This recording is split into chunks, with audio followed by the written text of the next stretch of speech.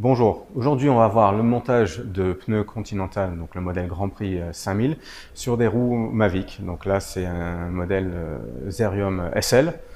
Donc Mavic a changé de trois éléments sur la, sur la jante pour faciliter le montage de pneus compliqués comme les, les, GP 5000 ou ancien modèle 4000 qui était très difficile à monter sur des, les, jantes fines de chez Mavic.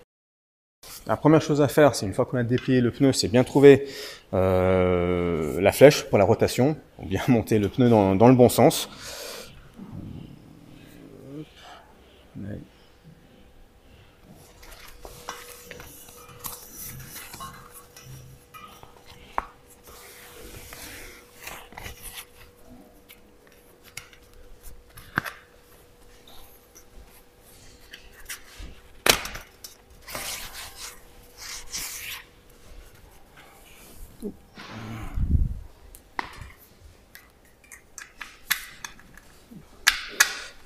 Une fois qu'on a mis la, valve dans le trou, on va travailler vraiment de la valve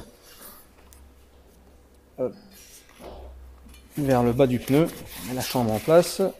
On va mettre la deuxième tringle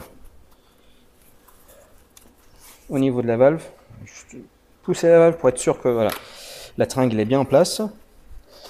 on va travailler du haut vers le bas en appuyant voilà, sur le pneu s'assurant que la chambre, elle rentre bien à l'intérieur du pneu et la jante, pour éviter de la pincer.